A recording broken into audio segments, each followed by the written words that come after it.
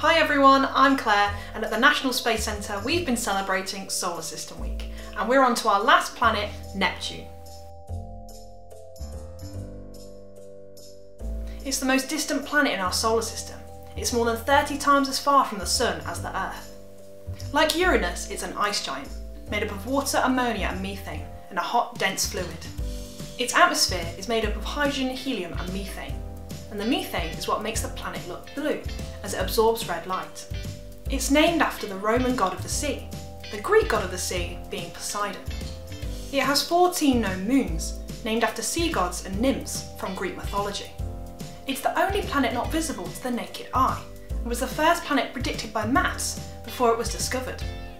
To rotate on its axis once takes about 16 hours. To orbit the Sun once takes 165 Earth years. It has six rings that are hard to see.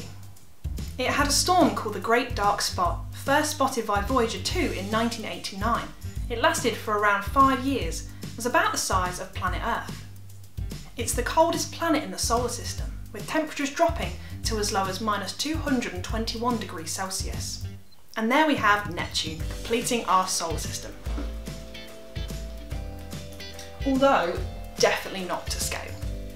I hope you've enjoyed Solar System Week with us, and me and Astronaut Quackers would love to know which one is your favourite planet.